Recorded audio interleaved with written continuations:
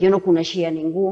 El Cesc una vegada va dir que érem un grup de gent que es va tirar al buit. I té raó, perquè ens va sortir bé, però ens podia sortir fatal, perquè no, no coneixíem nosaltres. No, no, no havíem sortit de, de Barcelona i tot el més contemporani que havíem vist era el, el, el West Side Story, vull dir, no, no, no, no sabíem res.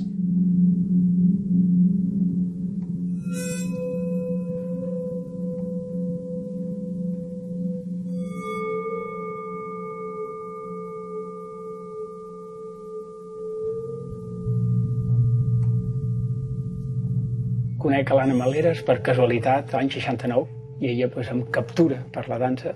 Per mi comença aquella primera època, que era quan estàvem creant els inicis de la dansa contemporània amb la mateixa Anna, el Ramon Soler i molts d'altres, i anàvem com creant el caliu de lo que seria el que després vindrà i mantenint la dansa viva i regenerant-la al final de l'època del Franco.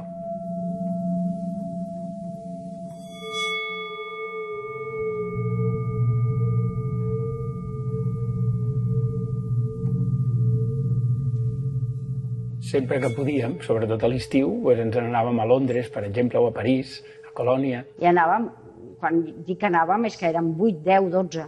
Érem realment el grup de Barcelona. En aquell moment la informació era molt escassa. Llavors, en el que recollíem en 15 dies o en un mes, després treballàvem tot l'any.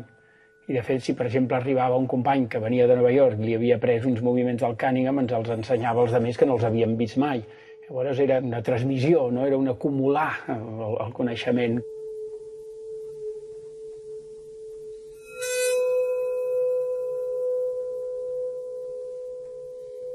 Per mi el Cunningham doncs, durant molts anys eren unes, no sé, cinc o sis fotos que jo tenia del, del MERS, no? una actuació que va fer a Sitges. Llavors jo em vaig veure obligat a reconstruir, en aquest cas, el MERS a partir d'aquestes quatre fotos, com ara reconstruïm la cultura egípcia a partir de, de lo que ens ha, ens, ens ha quedat. Em vaig pensar, a veure, si jo tinc que anar a París, tinc que anar a Londres, tinc que anar a Alemanya, tinc que portar la meva gent allà, això és molt gasto. Jo seria millor que organitzés un estatge al país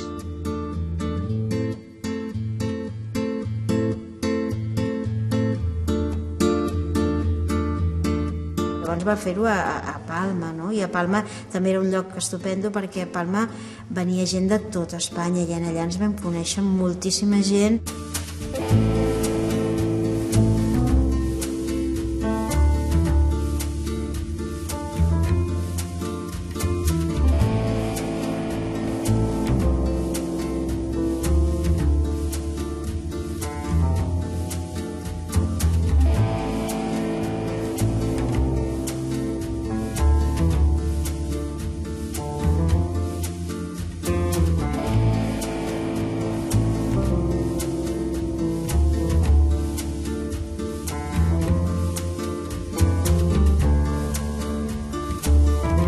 Les arts escèniques en general eren també un mitjà de contribució a, a treure'ns lleganyes de sobre, que en teníem moltes, i que coincidia plenament amb els moviments estudiantils d'aquella època.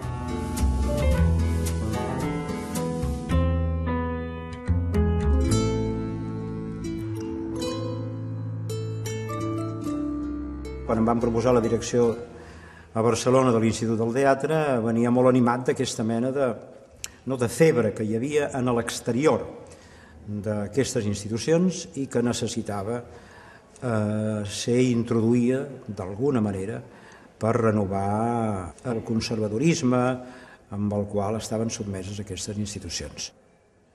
El Germán Bonín va connectar amb mi perquè quan va entrar de director jo vaig entrar de professora però no vaig entrar de professora al departament de dansa. Vaig entrar de professora al departament de teatre.